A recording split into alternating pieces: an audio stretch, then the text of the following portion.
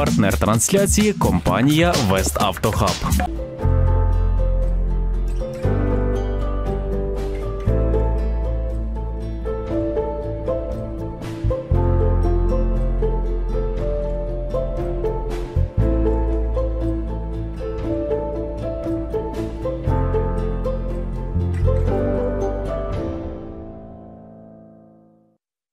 Духовна на 12 каналі. Мене звуть Марія Вавренюк. Вітаю вас. Сьогодні говоримо про ікони, зокрема їхнє призначення та міфи, які пов'язані з ними і не тільки. Працюємо ми традиційно у прямому ефірі, тому до нашої розмови можете долучатися. І ви для цього пишіть свої запитання на нашій сторінці у Фейсбуці або ж телефонуйте за номером, який бачите на екрані 063 12 12 012. На усі запитання постараємося знайти відповіді разом зі мною сьогодні священник Михайло Бучик. Вітаю вас! Слава Ісусу! Христу! Слава навіки Богу! Отже, Михайло, сьогодні хочу багато чого пояснити, роз'яснити нашим людям, нашим вірянам, тому що є багато запитань, на які е, вони потребують відповідей. От, власне, якщо говорити про ікони, то давайте спершу визначимо, що ж таке ікона, тому що ми знаємо, багато є зображень святих і не святих, тобто, що слід вважати іконою. Ми тільки спочатку будемо говорити так догматично, да? а далі ми трошки перейдемо Так, практично. так, так. Ну, якщо говорити з грецькою, то ікона, образ, малюнок, тобто те, що щось передає. Об... Але мені найбільше подобається все-таки слово образ. Тому що це те, що передає як зовнішній зміст, так і внутрішній зміст. Ми зображуємо. І якщо, наприклад, я думаю, як ми сюди зараз запросили п'ять художників і попросили би зробити портрет Марійки. Я думаю, що кожен намалював би, написав би, написав, би портрет, як він вас бачить. А чому? Ну, вроді би ж риси, обличчя, все. Але очі були б інші, десь якісь е, риси теж інші. Тому що я зображаю, я передаю те, що складає сутність. Тому ікона то те, що передає сутність в даному випадку Бога, святих, Богородиці. Це, е, якщо для мене, мені найбільше подобається, я собі взяв цей е, ну, такий, е, визначення. Ікона це моє вікно до Бога, до Богородиці, до святих, до ангелів. Вікно, через яке я дивлюся на світ за межею фізичного, того світу, в якому ми живемо. І ще от такий нюанс, власне, чому я запитала. Якщо, наприклад, е, вишити ікону бісером, якась жінка вдома вишила ікону бісером, чи можна це вважати іконою, чи її треба, не знаю, цю картину, виріб освятити, щоб це стало іконою? Чи є от власне таке? Ну, чи Ви вдома знаєте, хтось намалював? я скажу так. Ми чомусь дуже так е, прискіпливо відносимося до зовнішніх моментів ікони. Так, ця ікона допомагає при онкозахворюваннях. Е, Ця ікона допомагає подорожуючим. Ця ікона. Як ікона може допомагати подорожуючим чи ще щось? От в мене на жартовнику на святому місці стоїть ікона. Це ангелятка, вишити дівчиною, якої вже нема в живих давно. Вона була незряча, вона вишила оцю ікону. Е, сказати, що ця ікона є в канонічних нормах е, написання ікон, ну, безумовно, що ні. Але вона для мене дуже дорога. Тому що я знаю, що людина, яка її вишивала, вкладала в неї душу. З другої сторони, ми можемо бачити ікону написану ідеально з точки зору правил іконопису. Але. Але. Тому е, для мене от таке поняття, як до цієї, е, ну, перед цією іконою можна молитися, а перед цією ні, не існує. Якщо ми говоримо про критичні умови, наприклад, люди сиділи в гулазі, в тюрмі, вони робили хрестики з дерева, там з двох полосочок. Е, можна, ну, а це канонічні хрестики чи не канонічні? Ну, це, це, ну, це нереально і нерозумно такі речі говорити. Тому що зобразити Бога нереально. І для мене для мене важлива та ікона, яка пов'язує мене з Богом через людину, яка мала значення в моєму житті. От я, наприклад, взяв собою таку іконочку, бачите, маленька, і вже дуже багато років. Її подарував мені монах з Смоленська, е, який був келейником патріарха, тоді митрополита Кирила, який мені перший розказав всю святість в лапках російської церкви. І от мені подарував цю ікону. Він загинув 18 років, передбачивши свою смерть за рік до своєї смерті. Він мені подарував цю ікону. Вона простенька, вона... але вона мені дуже дорога. Тому що е, ця ікона мене пов'язує не тільки з Богом, а вона мене пов'язує мене з дорогою мені людиною. Це дуже важливі речі. І надзвичайно для нас ми повинні розуміти важливі. Коли ми сьогодні говоримо, ну от знову ж таки питання, е, ну все одно, я думаю, це питання повстане. Чи не є шанування ікон порушенням заповіді Божої не сотвори собі кумира? Не поклоняйся ні дереву, тому подібне. Ну, взагалі, це тому, що в нас в християнстві, де в деякій мірі є неправильне трактування іконо, іконошанування. Чому? Тому що люди передають неправильні думки. Я дивлюся, переглядаю Фейсбук.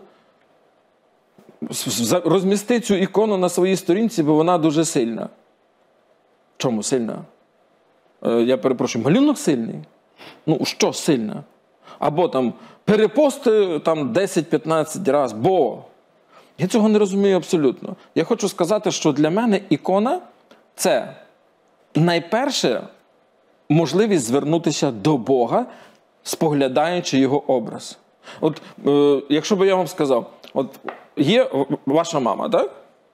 А у вас є фотографія вашої мами. Я перепрошую, ви любите маму чи фотографію вашої мами? Маму. Але фотографію, якщо ви далеко, да, ви собі дивитеся, мама. Образ на фотографії дає вам більш реалістично передати в своїй свідомості образ мами. Я дивлюся на образ Божої Матері, і для мене значення має не ікона, а Божа матір, яка зображена на цій іконі. І силу духовну, е, милосердя, любові дає матір Божа зображена на іконі, Ісус зображений на іконі, святий, а не ікона. Тобто ікона це такий посередник між Так. людиною і е, святим чи Ну, от е, якщо я, наприклад, стану і буду молитися до стіни, Але ж ви розумієте, що багато людей е, реально, буквально сприймають е, ці слова молитися до ікони. І вони Ні. Категорично не згідний. Не молюся я до ікони. Я молюся перед іконою. Перед іконою до Богородиці, до Ісуса, до святих, до ангелів. І от питання е, кажуть, от та ікона дуже сильна там чи ще щось. Чому на сьогоднішній день такі ну, виникають моменти? Та тому, що просто одній іконі 5, там 5 століть, та, другі 3 століття. І перед тою іконою дуже багато людей молилися. Тобто, скажу так, оце вікно, оця ікона привела до спасіння дуже багато людей. Тобто, е, воно дуже чисте, це вікно. Воно вже дуже має глибокий зміст. Тому ми говоримо про так про чудотворні ікони, ікони, які дають можливість е, людині можливо скоріше наближатися до Бога. Тому що через цю ікону до людей Бог відповідав багато разів. Сотні, тисячі, мільйони разів. І тому ми кажемо, таке поняття є намолена ікона. Колись, е, коли вінчалися молоді люди, їм не купляли нові ікони. Їм передавали ікони роду. Перед е, з цими іконами вінчалися батьки, дідусі, прабдідусі, прабабусі. Оце і казали родова ікона.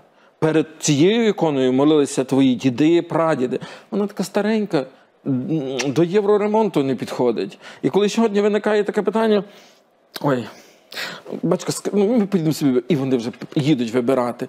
І так, ой, от така ікона, а ми от таку хочемо, а ми ще якусь хочемо. І воно стає трошки дивне. Чому? Тому що насправді вибирають не вікно до Бога, а вибирають ще одну річ для інтер'єру. Оце трагічно. Ікона не може бути інтер'єром. Ікона це, напевно, можливо, навіть я скажу так, зовсім може не вписуватися в інтер'єр. Тому що це те, що є поза світом. І ну, я думаю, що люди повинні це усвідомити, що я ще раз кажу: е, ікона це місце, е, це вікно, перед яким і через яке ми єднаємося з Богом. Тоді все нормально. От чи є от власне в нас запитання від глядача? Запитують, як робити мені, якщо я не маю власної думки про ікони? Ну от не знаю, як мені до них ставитися. Мені просто робити, як вважаєте ви, чи я все ж можу ставити знак дорівнює між вашою думкою і думкою церкви? Що от власне скажете? Е, Справа заключається в тому, що моя думка абсолютно не суперечить е, думці церкви. Тому що церква також каже.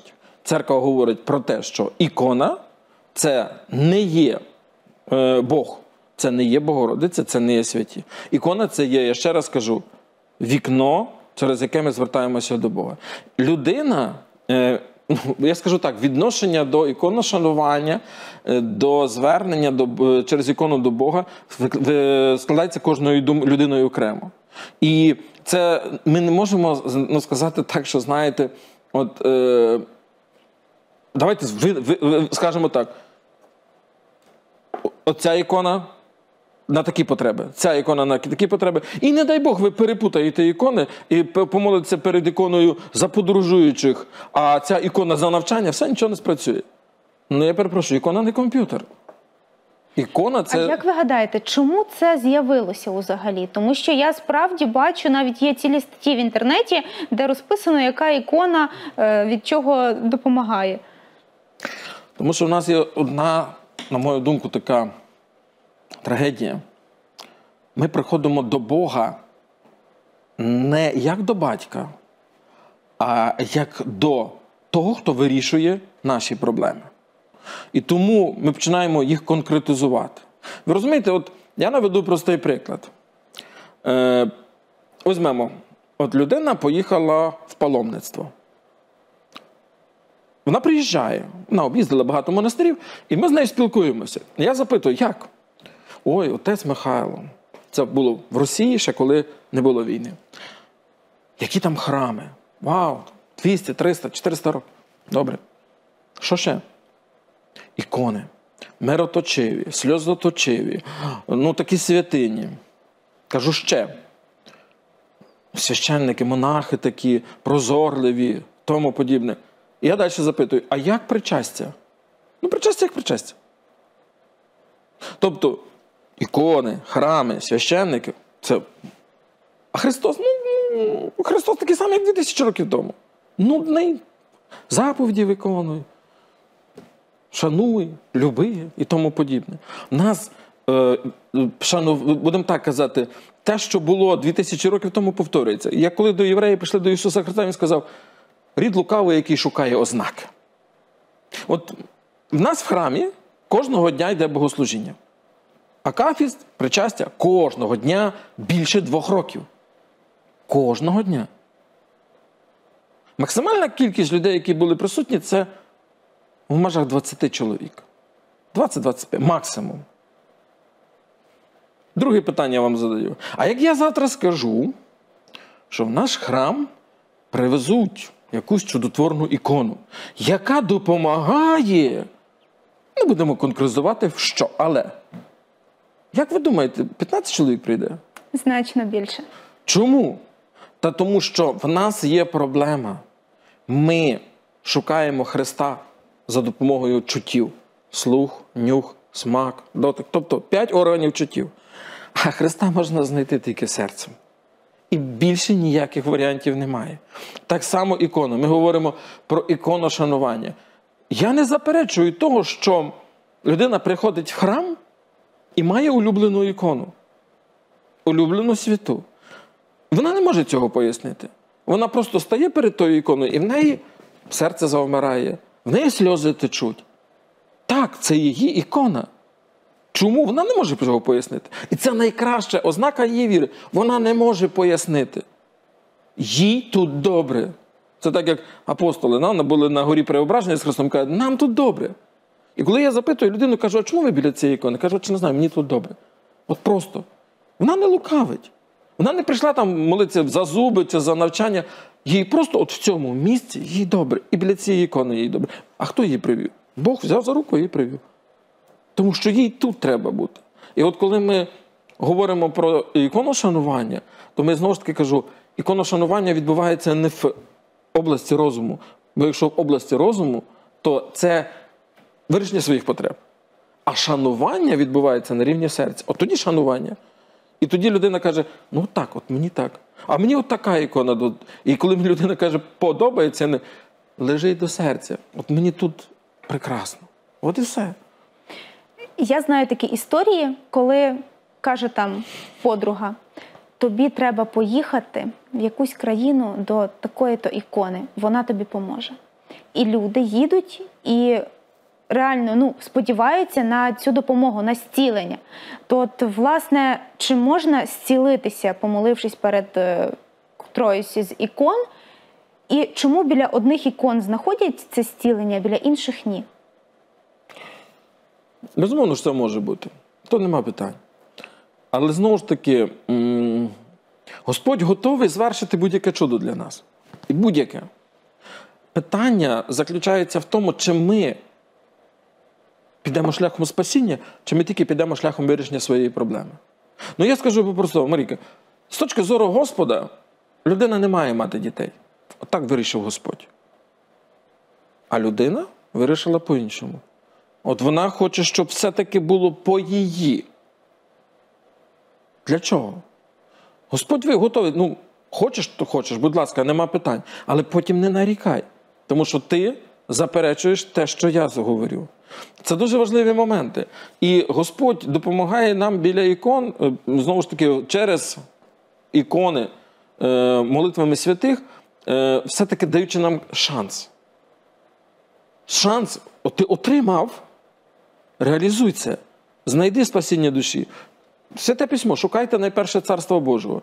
А все інше я вам дам. Те, що ми просимо достатньо часто. У нас буває дуже по-різному. От давайте візьмемо, от, до чого я веду? Коли е, Ісуса судили, наприклад, Понтій Пілат, в е, приторії Каяфи, скажіть, будь ласка, а де були ті люди, які отримали від нього допомогу? Зцілені, нагодовані, ті, які отримали море чудес. Приклад. Де ті були Воскресіння, де, наприклад, навіть про Лазаря нічого не говориться, якого він воскресив, так?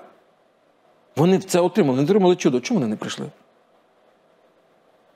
У нас так само. Ми помолилися перед іконою, дитина поступила. І добре. І забули. Потім в неї на першому семестрі проблеми. І знову ми до ікони. Я перепрошую. Господь потребує любові нашої, а не просто звернення. Тому ми, коли ми говоримо про іконошанування, то знаєте, я скажу так, от ловлю себе на думці, мені часом кажуть, от заходять в храм, отець Михайло, а у вас такої ікони нема в храмі? Такого святого. Я собі думаю, боже мій, ну це, напевно, треба було ну, сотні ікон чи тисячі ікон. От, оце конкретизація того, що ми прийшли найперше до Бога. А святі є провідниками до Бога.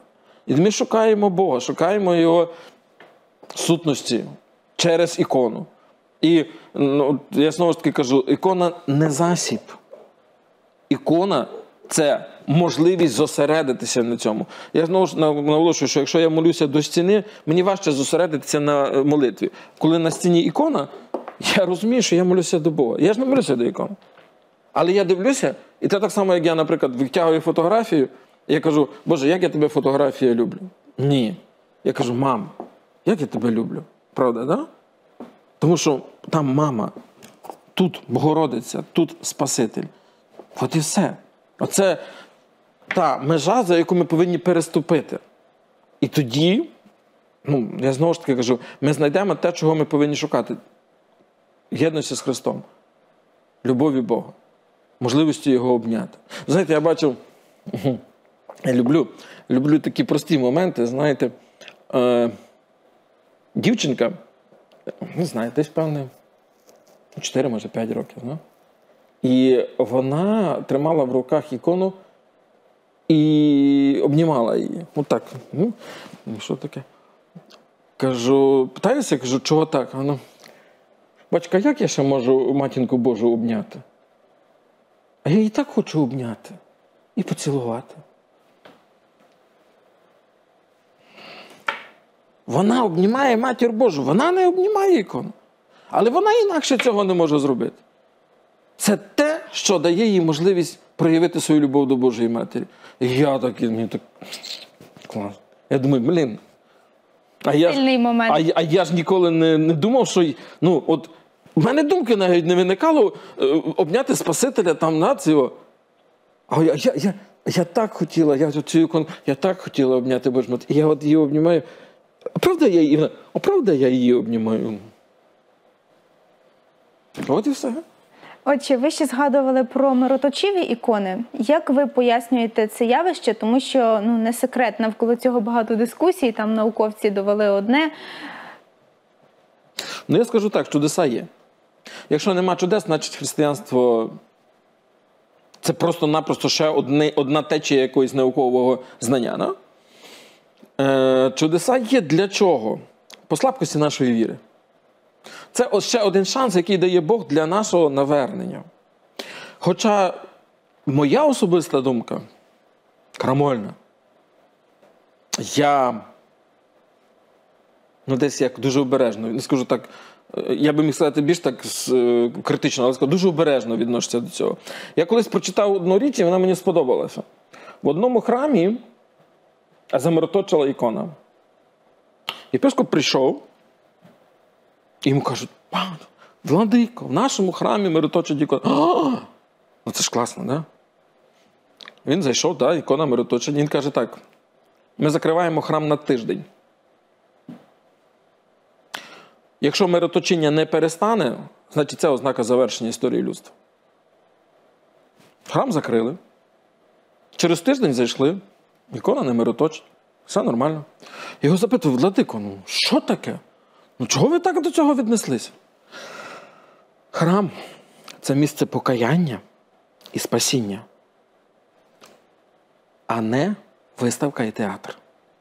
Якщо ви думаєте, що через мироточиву ікону сюди би прийшли люди, шукаючи спасіння, нічого подібного. Вони би прийшли подивитися, а ти була біля мироточивої ікони. Знаєте, я вам розкажу цікавий момент. Просто Бог показує і вчить мене. Вчить кожного, священика. Колись давно-давно собор всіх святих, російська церква, привозили так, ікону кровоточивого Христа. Її привозили кілька разів. З кожним наступним разом кількість людей зменшувалася ну, до ікони. І я став свідком однієї розмови в маршрутному таксі. Ні, брешу, це тролейбус ще тоді був. Двоє с- якраз я зацікавився, бо не жінки говорили. Жінки багато чого говорять, але от іменно чоловіки. Один до одного каже: ти знаєш, а я був біля кровоточивої ікони, от там і там, от цього. Та це вже третій раз привез. Ну, Я вже не, я вже не йду. Розумієте. Да? Тобто вже не цікаво. Я вже там був. Мене це вже не хвилює. Я зайшов на виставку, подивився. Можу сусідам сказати, що я був, що я не такий відсталий. Але для чого? Тому це дуже таке обережне питання. І е, я знову ж таки кажу: дуже би не хотілося, щоб це відбувалося те, що відбувалося 2000 років тому, як всі бігали за Христом, який зціляв, воскрешав, годував. А коли його розпинали, нікого не було. Я от е, просто нещодавно мені трапився такий заголовок: у Чернігові масово мироточать ікони, до храмів ідуть тисячі вірян. Тобто масово мироточать ікони. Трошки, трошки дивно. Я не розумію. Я знову ж таки, я цього не розумію і, напевно, ніколи не зрозумію. Е, тому що мироточіння ікон це не тільки ознака благодаті. Мироточіння ікон, от згадайте слова Святого Письма. якщо ми замовкнемо, каміння почне говорити. Ікона це ж матерія. Ну, реально, ну, це ж не духовна сутність, це матеріал, це пластмаса, метал, дерево, тканина. І якщо вже ікони починають говорити, може це повинно до нас щось дойти, да? Ми повинні, напевно, щось зрозуміти, чому мироточать ікони. Чому плачуть ікони? Може, тому що ми мало плачемо за свої вчинки. Чому мироточать ікони? Що таке мироточіння? Взагалі, що таке миро? Миро це благодать. Благодать це добро, благословенні, благодатні, добрі. Може, ми добро перестали робити? Чому кров тече? Може, надто багато крові проливається?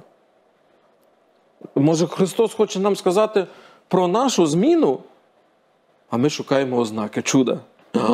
Ой, Боже. От що, що цікаво, ви власне були свідком зцілення біля якоїсь ікони чи якогось чуда? Чи можливо хтось вам е, про це розповідав, кому ви довіряєте? Ви маєте на увазі через іменно мироточеві ікони? чи... Ну не, не лише, не лише. Е, Боже мій, молитв. е, Багато можу сказати, що я можу навести багато прикладів. Ну, що людина молилася до цієї ікони і отримала якесь е, своє зцілення, те, чого вона Але це знову ж таки, е, в даному випадку людина не конкретизувала ікону, розумієте? Тобто ікона людина просто молилася до Бога, і в неї на даний момент були такі ікони. І навіть питання не стояло, що от, е, от бачите, ви мене зловили на думці, що людина мені ніколи не казала: отець Михайло, я молилася перед цією іконою, і я отримала зцілення, чи моя дитина. Людина просто казала: Я молилася. І Господь допоміг. Тому що я знову ж таки наголошую, допомагає все-таки Господь. І я дуже обережно до цього відношуся, от, до класифікації ікон. Тобто я не проти. Е, Кожна людина має право молитися. Ну, наприклад, от в нас є така на вхідними дверима вішається або Остробрамська ікона Божої Матері, або семистрільна ікона Божої Матері, тому що вона вішалася, наприклад, на воротах храму, і ми так само робимо. Ми так само, наприклад, от зразу скажу, можливо, людям буде так цікаво, які ікони мають бути вдома. Ну, от в нас в обіході, так? В вас вдома має бути ікона вашої небесної покровительки. Там Марії Єгипетська чи Марії Магдалини. У мене архістратига Михаїла. У мене має бути ікона, наприклад, е, святої мучениці Наталії, переверховного апостола Петра, е, Павла і святого святителя Василія Великого. Той, хто проживає, відповідно, ікони ну, того святого, яка я ім'я ношу, має бути в моїй оселі. В нас на Волині чи на Україні прийнято так, що безумовно має бути ікона Божої Матері, покрова, чи вже якась інша ікона. Е, має бути в більшості в нас ікони Святого Миколая. Знову ж таки, покровитель міста Луцька. Тобто, оце це те, що, наприклад, близьке нам. Іов Почаївський, Амфілохій, святі нашої землі. От. Е, Це нормально. Це нормально, тому що ну, вони ближчі для, для нас. Вони ближчі нам на сьогоднішній день. І на кухні ікона таємної вечері. Тому що ми споживаємо їжу, апостоли споживають. Це ментально передає ту дію. Ми молимося, Господи, Ти благословив стіл, за якому були твої учні, за яким були твої учні. Благослови наш стіл, благослови ту їжу, яку ми споживаємо. Це теж нормально.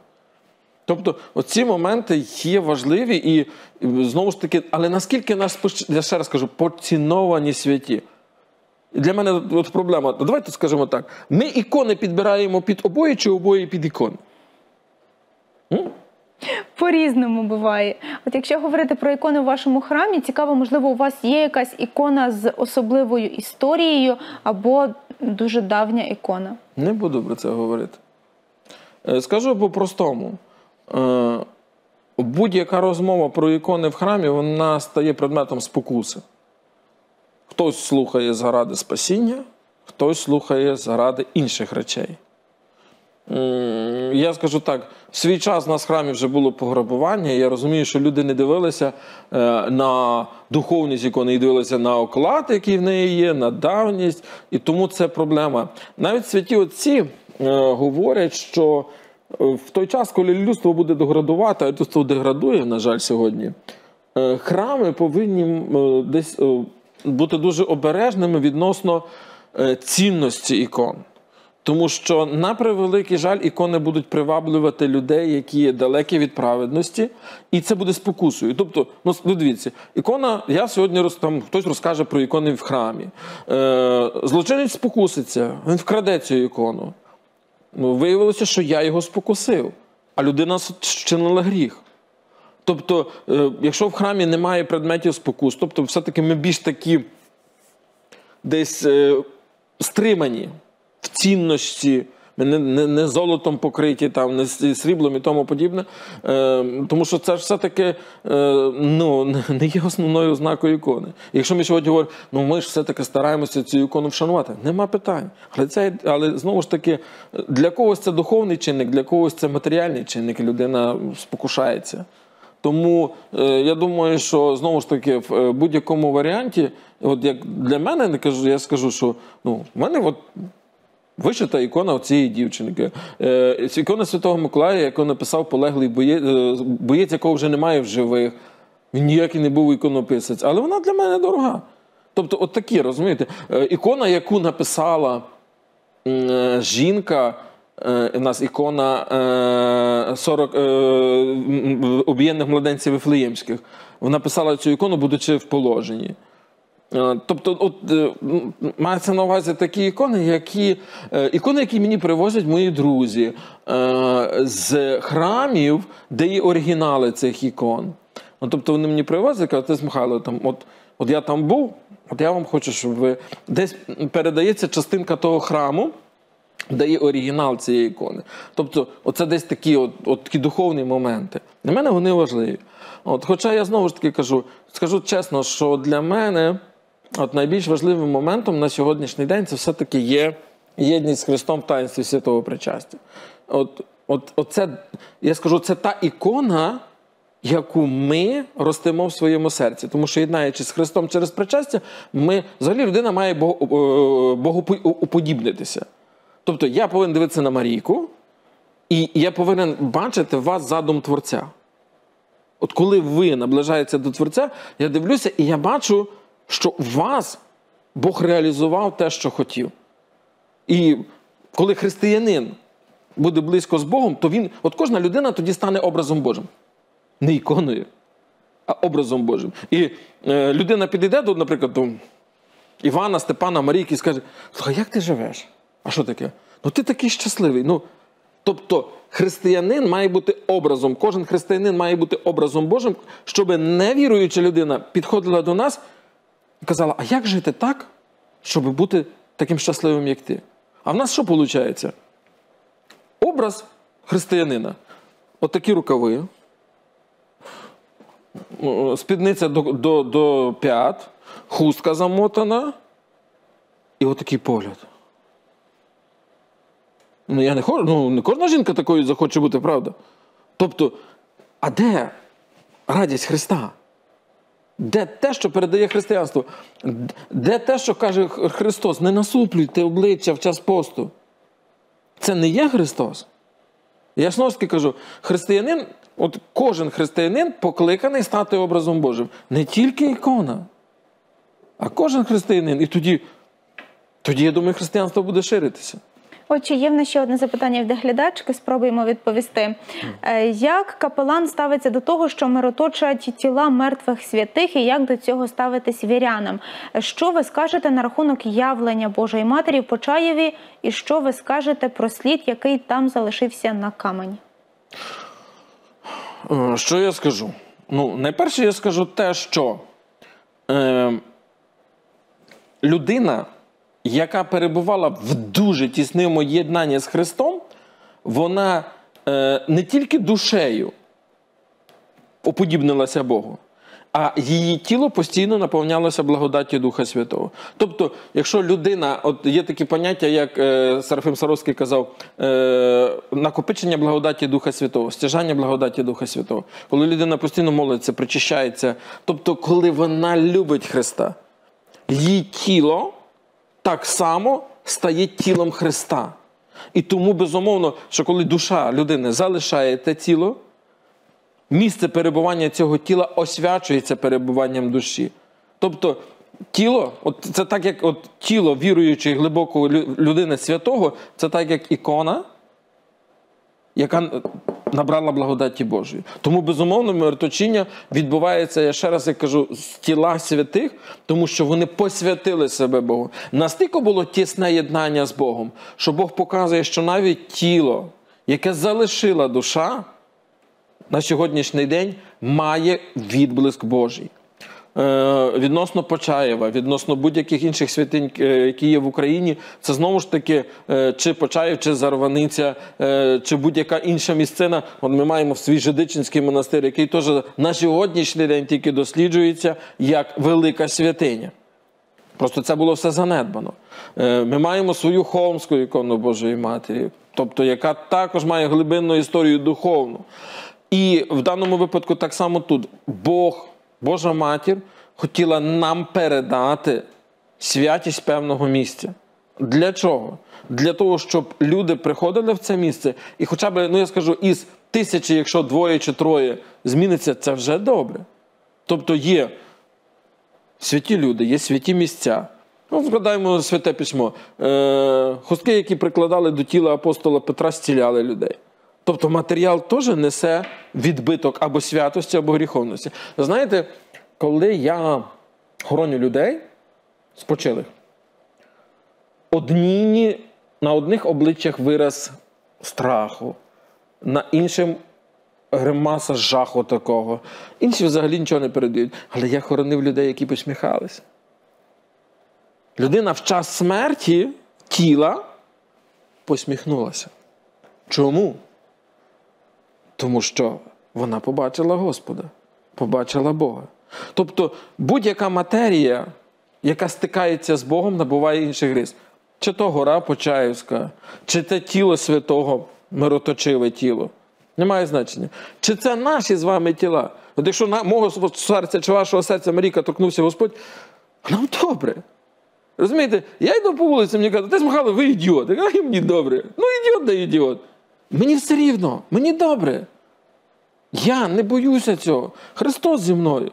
Я можу бути 10 разів грішний. Знаєте, е, е, коли, наприклад, сьогодні говорять: е, ой, ви там ходите до ікон, молитеся, такі, а ви ще такі самі гірші, як ті люди, які не моляться перед іконами там, чи ще щось.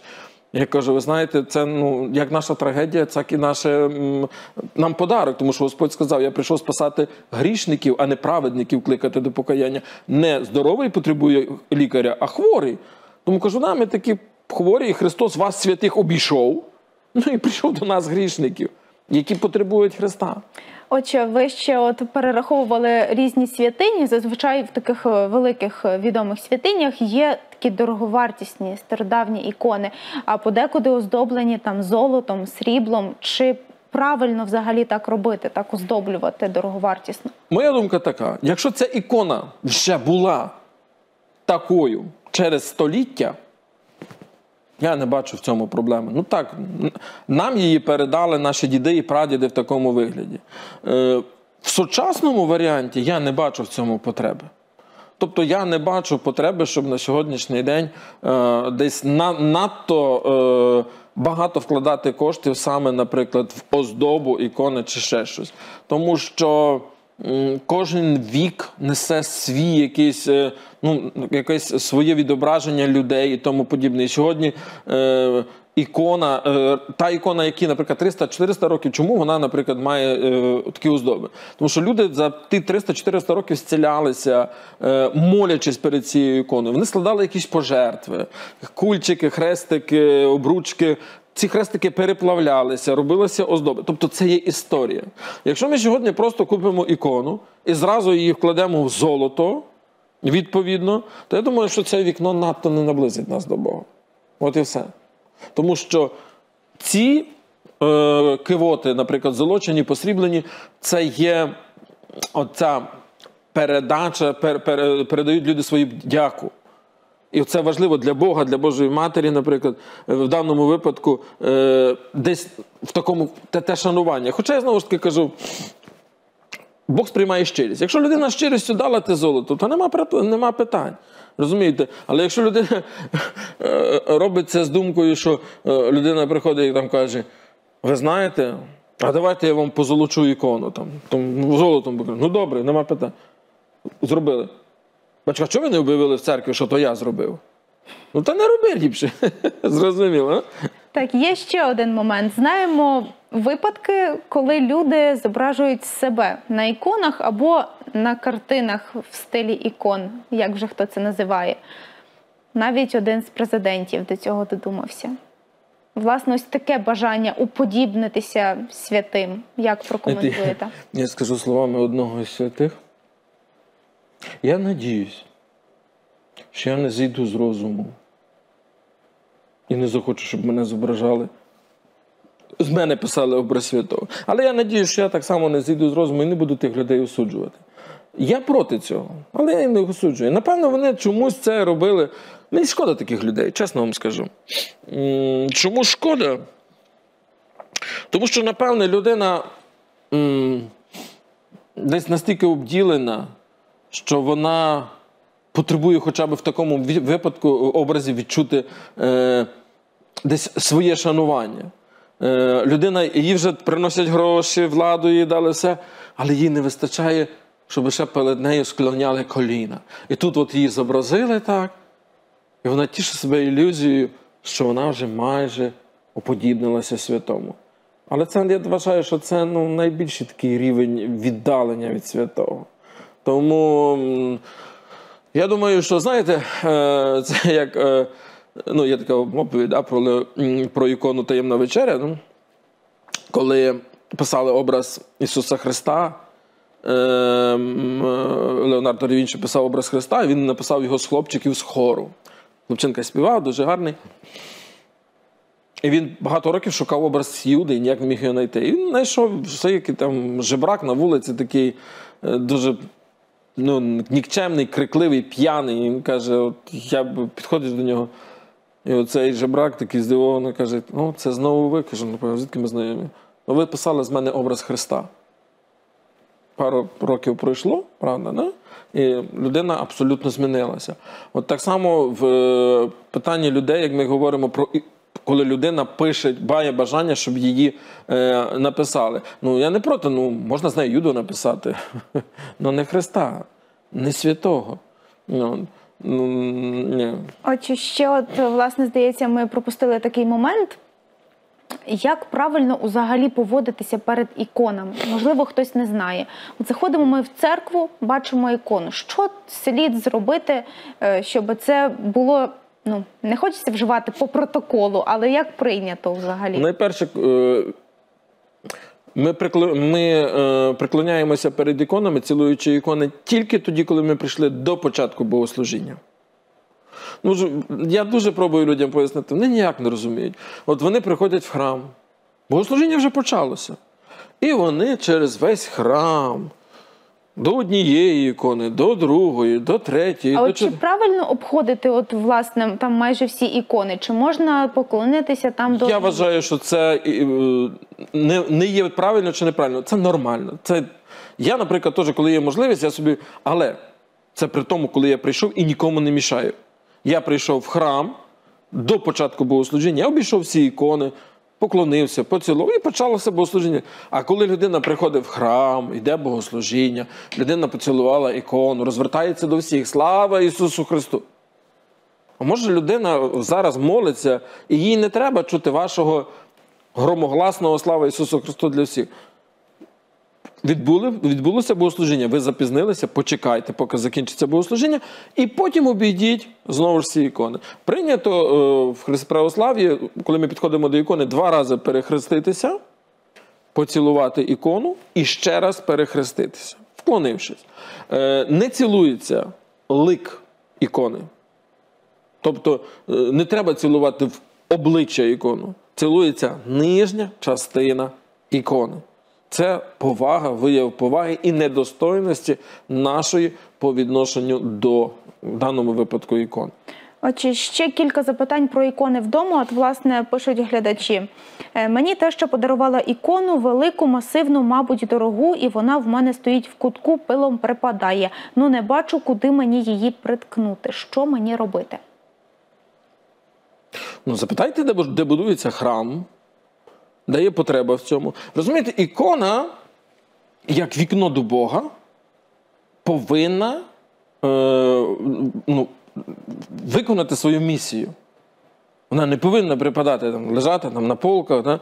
чи там в кутку, чи ще десь. І ви знаєте, от я дуже обережно відношуся до ікони як до подарку. Чому? Тому що я знаю таку картину, коли, наприклад, я спілкуюся з людьми, і там особливо це коли люди е, бізнесово поважні, політично поважні, ну, складають, як кажуть, е, естеблішмент сучасного суспільства. Вони кажуть, тут тесть Михайло.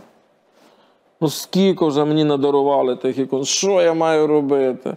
Да, він Микола, у нього вісім ікон святителя Миколая. Куди він їх діне? Розумієте? Тобто це дуже особисте. Це надзвичайно особисте. І я би, наприклад, все-таки хотів для, для себе, то я би сам хотів вибрати ікону. От, от, от щоб я підійшов до цієї ікони, да, і от, от це моє вікно. Оце моє вікно. Тому, коли приносять дарують ікону, думаю, боже мій, ну так це так модно сьогодні, на? ну так в тренді ну, ікону подарувати. Ні, не треба. Для чого? Тому, якщо нам подарували вам ікони, і у вас їх є 5-10 ікон, чи, чи ви просто їх реально не маєте куди, тому що ну, ну нема куди її почепити. Кімната маленька, ікона велика, куди я її вцеплю? Е, є багато храмів, які сьогодні мають потребу. Так само робити з іконами, які, наприклад, старі, і ви хочете їх десь діти, але не хочете викидати в смітник чи Безумовно. спалювати. Тоді ви приносите в храм. Якщо в храмі вважають, що вони можуть цю ікону ще е, десь е, відповідно чи використати як знову ж таки можливість молитися перед нею, чи ще. Якщо ні, якщо ця ікона вже зовсім вибула з вжитку, її просто читаючи спеціальні молитви, спалюють на території храму. Для того, щоб вона не була осквернена десь в іншому місці. Є так названа молитва на е, е, знищення зужитих речей. Речей, які вийшли з зжитку. Тобто вже немає лику, ікона порвана там чи ще щось. Хоча в мене був цікавий момент. Ну, бачите, нагадали мені. Їх вже немає в живих, я можу розказати. Я прийшов сповідати чоловіка і дружину.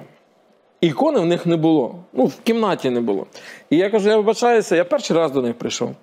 Кажу, у вас немає ікон, ну якось я привик кажу молитися перед іконою. Вони наші ікони вінчальні є на горищі. Я кажу, що ну так, батюшка, так, от склалося. Я кажу, давайте я їх дістану. Та ні, вони там соломою сіном закидані. Я кажу, а я ще ну, не такий животатий був, трошки молодший був. Кажу, давайте мені вила, і я піду на ці ікони знайду. Я заліз на горище, взяв вила. Ну, хвилин 15 я попрацював, знайшов я ці ікони. Саме цікаво, коли я взяв в руки ікони, вони розсипалися. Дерев'яна рамка, і навіть оті цвяшки, воно все розсипалося. Крім звичайного малюнку, на якому зобра... образу, на якому зображений лик Христа і Богородиці. Ну, дерево розсипалося, метал розсипався, залишилося тільки скло і образ. Я був шокований, да? Ну як? Я зніс ці ікони, потім їх вже взяли в рамки. Все. Е, от, оце питання е, стара ікона, потрібна, не потрібна. Ну, ну, ну, для мене це було таким цікавим. Отже, ви ще нагадали про одну традицію, коли сказали про чоловіка і дружину. Е, Я пам'ятаю, колись було таке, що перед інтимом завішували такими спеціальними шторками колись ікони. От спеціальні шторки були для цього, кажуть. От, власне, що думаєте про це? От не раз Ну, теж чула таке. Ну, це не закриває вікно для Бога. Ну, взагалі, ви знаєте, в нас питання. Ми ж говоримо про ікони, ну хай не зацепили це питання. Питання статевих стосунків це не є питання чогось е, того, що виходить поза рамки християнства. Бог благословив статевість людини, чоловіка і дружину. Бог благословив статевий потяг.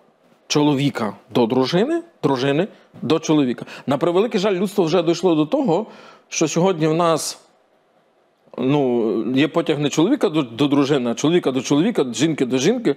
Це навіть зважаючи на те, що Бог в природі заклав статевість. Тому е, питання е, статевих стосунків це питання благословенного Богом. І як говорить Святе Письмо, для того, щоб не розпалюватись на стороні, Господь створив чоловіка і дружину і благословив шлюб. Тому те, що відбувається між чоловіком і дружиною, це не є щось те, що треба ховати від Бога. Тому я часом, коли заходжу в, е, спальню, ну рідко таке буває, але було в мене. Я з ярданською водою, там з молитвою, та, і дивлюся, немає ікон в спальні.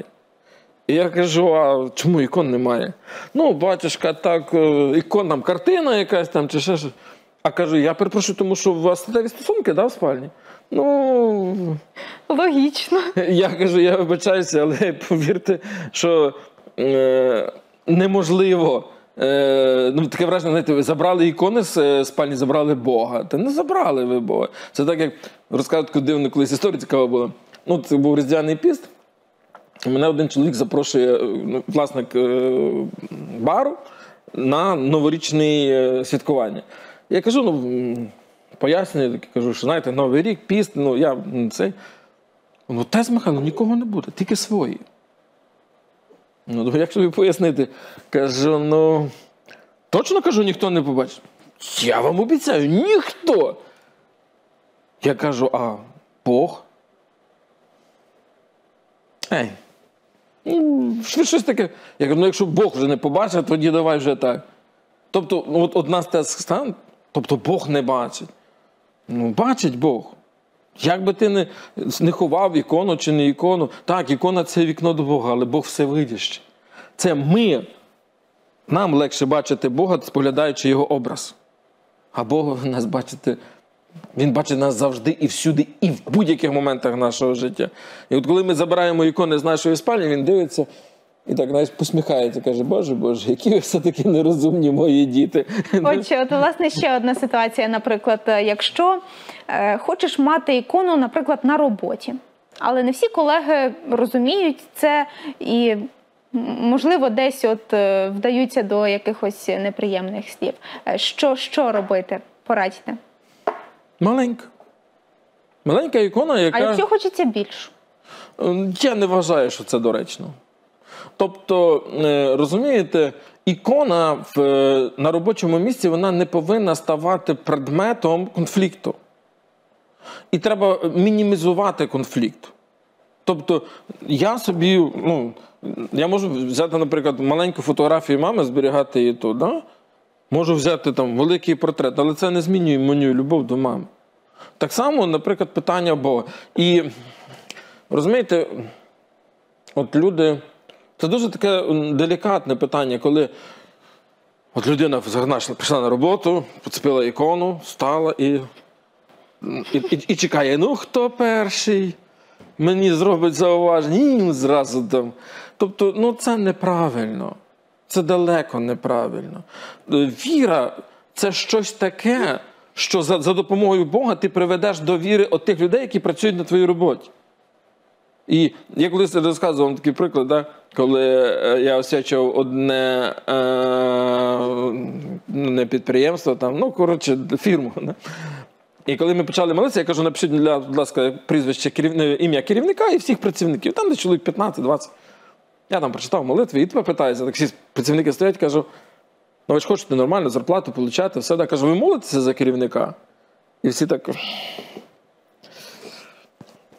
ну, зрозуміло, да? І тут керівник так. «Ти, А я повертаюся до нього кажу, а ви молитеся за своїх працівників? Він так. Тобто, коли ми працюємо з людьми, які є поза християнством, вони так вважають, то наше завдання не призвести до конфліктної ситуації, а зробити так, щоб з певним проміжком часу ці люди стали іншими. От до мене звернувся мій периферин, в них корпоратив перед Новим роком. Це ще було до війни якраз.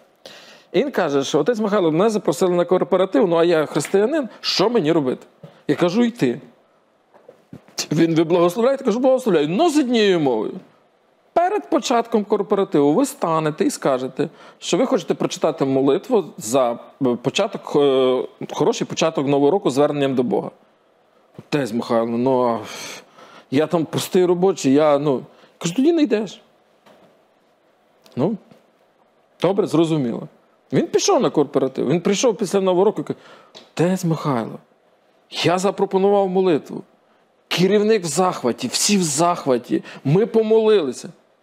Розумієте, е, якщо ми е, ікону беремо на місце роботи з думкою, щоб це когось зачепило і Марійка почала зі мною сваритися, це одне. А коли я приношу ікону з думкою, щоб навпаки тут була любов, і навіть якщо людина десь там почне до мене сваритися, я собі скажу, ну, ну добре, я собі там я сховав. Тобто і розмір ікони тут точно не має Ні, ну безумовно. Отже, Михайло, ще от власне цікаво. Я знаю, що часто іконки ось такі невеличкі в різних е, формах в машини чіпляють, щоб оберігали, в гаманцях носять. Е, Як можете прокоментувати це? Чи треба це і чи воно помічне, як то кажуть? Якщо в машині поряд з вами не сидить Бог, не помічне. А для того, щоб Бог сидів поряд, я завжди наголошую, ікона в машині не талісман. Ікона в машині це саме вікно до Бога. Тобто я сів за кермо, я перехрестився, я благословив дорогу і я поїхав. Ви знаєте, я ж теж людина, правда? Я за кермом е, їду, і, і, я порушую правила дорожнього руху, і ті, хто їдуть, порушують, і мене підрізають, і я підрізаю. І, і часом, знаєте, я от їду, і там ну, така там, аварійна ситуація. Я теж часом ну, таке. Але особливо, коли мені її створили. І я. Ну, я не ругаюся, я ну, взагалі принципово не ругаюся. А можливо, апарат вже не сформований. Але от емоції я висловлюю. І я так сказав, пройшло там 5 секунд, я кажу, Господи, пробач йому, пробач мені. І благослови його, і мене і поїхав. Я не маю права на дорозі стати джерелом негативної енергетики. Негативу, зла. Тому що хтось один, другий. Чому нас стільки аварій? Тому що за рулем, за кермом повно лихослів'я, ненависті, агресії. І дорога стає місцем зла. Розумієте? Що Правда, власне, власне є ще е, такий момент. Е, Часто будь-які зображення святих ми можемо побачити, наприклад, в газетах чи тих же журналах. І от е, хочеш викинути. Але якось тобі не дозволяє. Ну я ж не можу виконати в смітник. Тут Божа матір зображена, чи там не знаю, сало загорнути. Спалюється. Будь-яке зображення, яке є на, в газетах, в журналах, е, ці речі спалюються, і попіл з них е, переважно кидається або на текучу воду, на річку. Е, я, наприклад, ну, не завжди маю можливість бігати десь там до тої річки там, чи ще щось. От. То е, цей попіл в мене є яблунки, в мене є груші, я собі закопав під дерево. Тобто е, в більшості в старі часи ці речі спалювали в печі. От в печі, а потім попіл куди підався? На город. От і все. Тобто таким чином. Е, Що саме основне, щоб воно не пішло на мусорний ящик там, чи ще щось, чи ще кудись. А якщо в сміття, то що тоді? А на що сміття викидати? Ну, якщо сміття теж будуть спалювати. Так е, я перепрошую, е, якщо я впалю в печі, то там немає якоїсь мусору там чи ще ж. Там в мене дорога, і відповідно е, ці газети чи ще ж. А коли я, наприклад, кидаю в мусор, то там ну, багато. Тобто це вже саме поняття на мусор, на сміття, не потріб. Там немає. Тобто дорівнює не шануєш. Так. Так. Отже, я дякую вам, що завітали на програму і розповіли стільки Вже всього цікавого. Так. Всім Божого благословення і хай кожен з вас знайде своє вікно до Бога і до святих. Чудово, нехай так і буде. І дякую нашим глядачам, що дивилися. Сьогодні нашим гостем був священник Михайло Бучак. Традиційно у студії працювала Марія Вавренюк. Тож бережіть себе, своїх рідних і шукайте своє вікно до Бога. До зустрічі!